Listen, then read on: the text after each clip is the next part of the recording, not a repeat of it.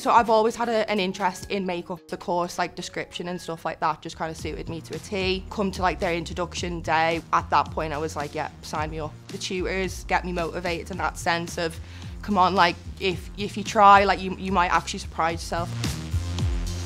It's just a broad range of beauty, but then also the other side of which was the SFX of the blood, the gore. I found the gore a bit my favourite. We had like a day out with um, the Merseyside Police where we went to the uh, fire station and what they'd actually done was a reenactment of like a scrambler crash to educate the, the young kids in the local primary schools. So where we stepped in was to do the SFX makeup on the on the um, policemen and like the actors a part of it. We're together all day every day, so to be kind of in a different environment where we get to actually have fun and not have to keep our heads down and keep working was was really nice as well.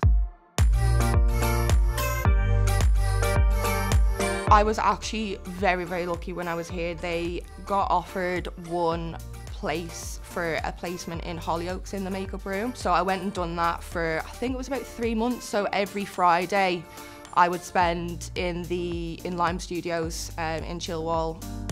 The quality of stuff that they got us in our kits, obviously it was all like top top quality stuff. So we knew that we were using the, the correct stuff. They'd done everything they could to prepare us for the exams. Like they, they were on our side. They were very much like, if you do this and this, like you, you'll be able to pass with flying colours. And obviously the, the use of the library as well. Everything you needed was, was in the college.